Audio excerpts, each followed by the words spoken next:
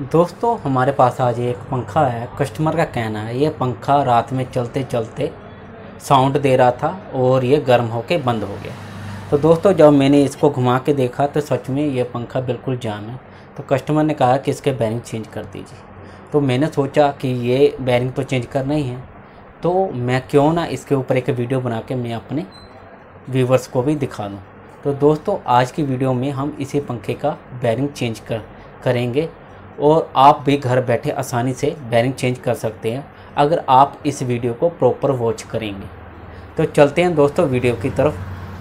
Video में जाने से पहले दोस्तों मैं आपसे रिक्वेस्ट करूँगा, अगर आप इस चैनल पर न्यू हो तो प्लीज़ चैनल को सब्सक्राइब कर लीजिए, घंटी का जो बेल आइकन है उसको प्रेस कर दीजिए और और नोटिफिकेशन को भी ऑन कर दीजिए, ताकि हमारी आने वाली लेटेस्ट वीडियो की जानकारी आपको तक पहुँचे सबसे पहले। तो दोस्तों, ना देर करते हुए चलते हैं अब वीडियो में।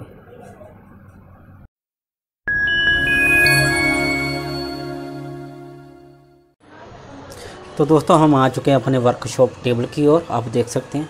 तो सबसे पहले इसे खोलने के लिए हम इसके कनेक्टर को निकालेंगे। तारे तो हमने ऑलरेडी पहले निकाल चुके हैं दोस्तों।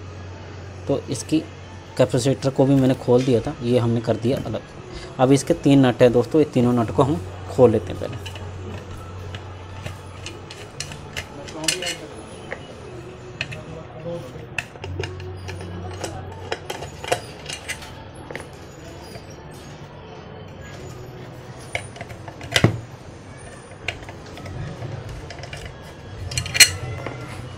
तो दोस्तों हमने नट देखिए खोल लिए हैं। अभी हैम्बर की मदद से इसको ठोकेंगे तो निकल जाएगा। नहीं दोस्तों, ऐसा कभी नहीं करना, इसको हैम्बर नहीं मारना। रीजन क्या हैम्बर मारोगे तो इसकी मोटर झट जाएगी। ये देखिए, इसकी कॉलर बनी हुई है दोस्तों। तो इसके कॉलर को निकालने के लिए हम क्या करेंगे, इसको पहले वाइस मतलब जिसको बोलते हैं वाक वाक में इसको कसेंगे। देखिए दोस्तों, पंखे को हमने इस बाइस में कस लिया है। अभी ये जो कॉलर है, इस कॉलर पे चोट मारेंगे तो ये पंखा का कैप है जो बाहर निकल जाएगा। देखिए, मेरे पास तो ये टीप आना है। आप देख सकते हो तो इससे मैं मारूँगा यहाँ ये देखिए, निकल गया।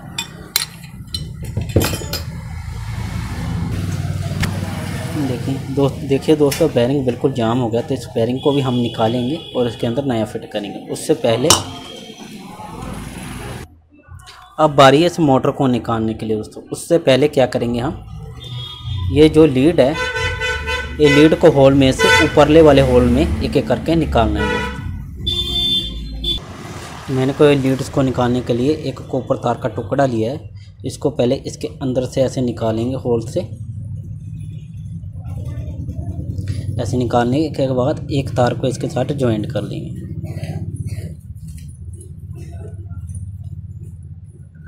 तो बहुत ही ध्यान से निकालना दोस्तों। कई बार तार क्या होता है ब्रेक हो जाती है या अंदर रह जाती है। तार हार्ड हो जाती है काफ़ी टाइम के बाद ये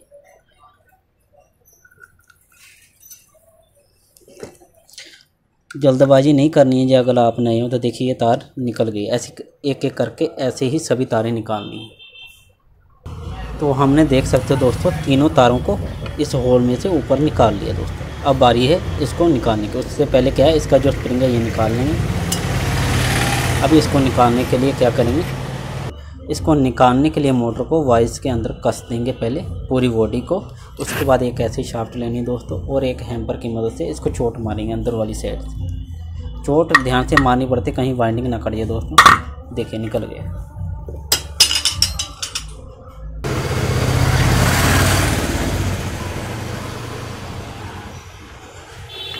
दिखाना चाहूँगा। मोटर तो बिल्कुल साफ़ लग रही है दोस्तों।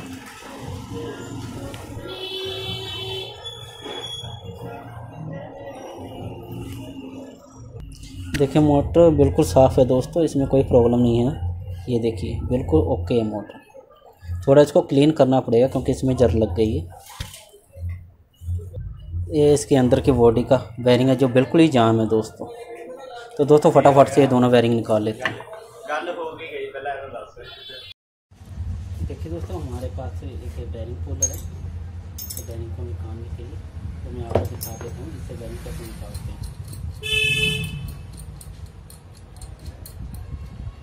ये वाला कैप है जो इसके अंदर जाएगा पहले, और इसके ऊपर। और ये इसके बीच में पड़ेगा। और ये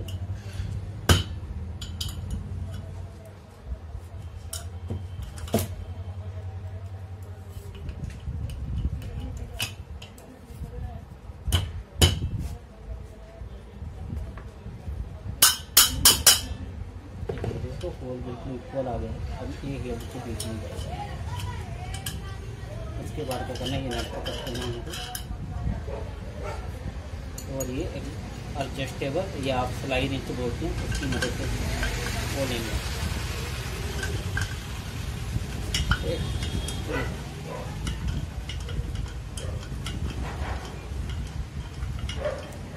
कोई जरा ज़ोर लगाने का आराम से निकल जाता है। ये मैंने प्रॉपर तरीका बताया दोस्तों। बैरिंग निकालना ऐसे बैरिंग निकल तो ऐसे इसी तरह इसका भी हम बैरिंग निकालेंगे। देख सकते हैं, हमने दोनों बैरिंग को निकाल दिया। ये रही दोनों बैरिंग। अभी क्या करते हैं, इसको फटाफट से हमको क्लीन करना पड़ेगा।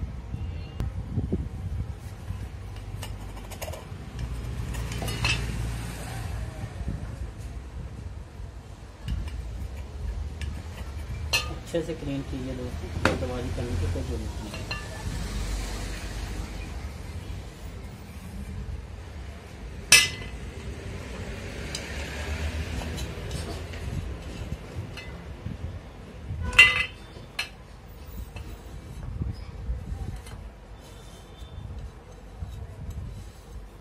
देखिए प्रॉपर तरीके से क्लीन हो गया देखिए दो दोनों बैरिंग देखिए दोस्तों, दोनों बैरिंग को हमने अच्छे से बैठा दिया अब बारी क्या है इसको?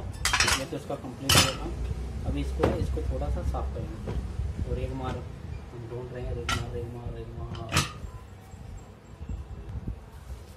एक मार की मदद से इसको क्लीन कर लेंगे। जो जर वगैरह लगी वो साफ़ हो जाएगी दोस्तों।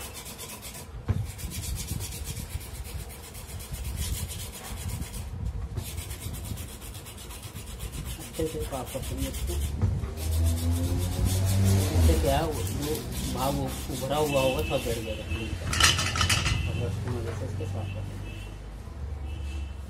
भी काम कंप्लीट हो गया।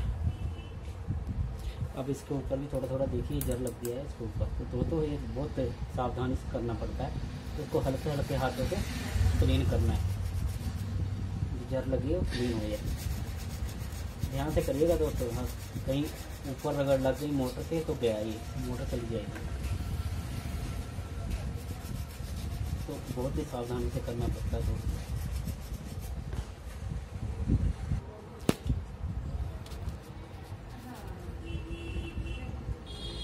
तो दोस्तों, हमने इस मोटर को भी प्रॉपर क्लीन कर लिया है।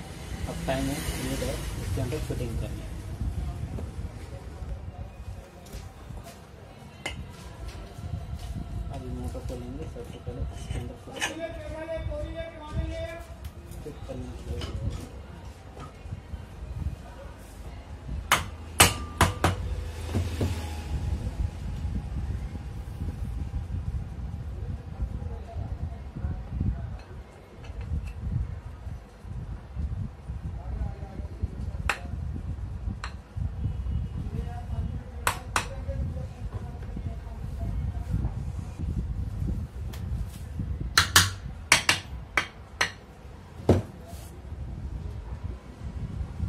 दोस्तों ये स्प्रिंग होता है, बहुत ज़रूरी होता है लगाने के लिए। सो मोटर से पहले यहाँ पर लगाना। उसके बाद क्या करेंगे, इसको बंद।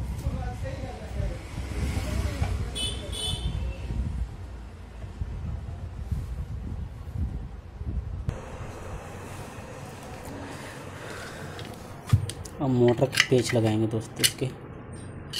होल्स में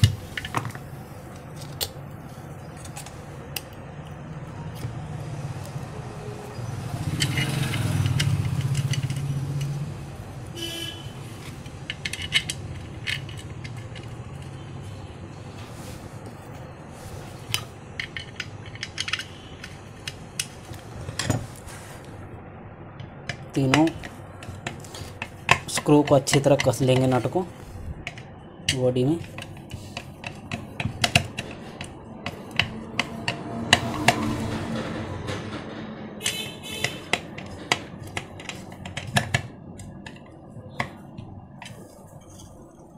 देखिए फ्री हो गया दोस्तों, बहुत अच्छा से फिटिंग हो गया।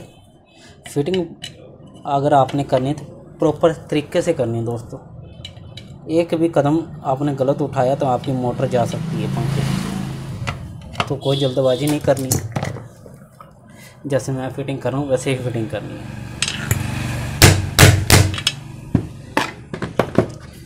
देखिए दोस्तों, कोई साउंड नहीं है इसका।